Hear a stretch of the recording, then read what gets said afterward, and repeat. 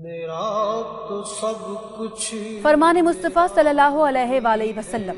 حضرت زید بن ارقم رضی اللہ تعالیٰ عنہ سے روایت ہے کہ امام الانبیاء صلی اللہ علیہ وآلہ وسلم نے ارشاد فرمایا میں تمہارے لیے دو چیزیں چھوڑ کر جا رہا ہوں۔ ایک قرآن کریم دوسری میری اہل بیت۔ ان سے تعلق مضبوط رکھنا گمراہ نہیں ہوں گے۔ جلے اسی کے طرح مجھ میں